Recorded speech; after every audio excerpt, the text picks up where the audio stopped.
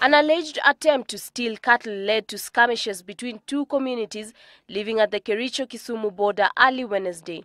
According to Komalok village residents, a night guard was killed at Holo Trading Center by the suspected cattle rustlers.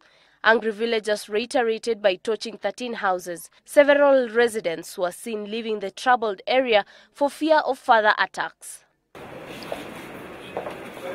From the courts, an application filed by Richard Ogenda seeking to stop the use of alcoblow to nab drunk drivers will be determined this Friday.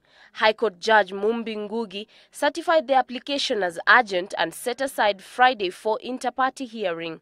Ogenda claims that an accused person should not be forced to produce evidence to accuse him or her as being done by the traffic police. second the fourth accused. Finally, four people suspected of plotting and executing a terror attack at the Jomo Kenyatta International Airport in Nairobi have been released on a 20 million shillings bond each. The four were released by Nairobi Chief Magistrate Doreen Mulekyo, who said that the prosecution had failed to produce enough evidence on why they should not be released. Zeddy Kosgei for Citizen Live at 9.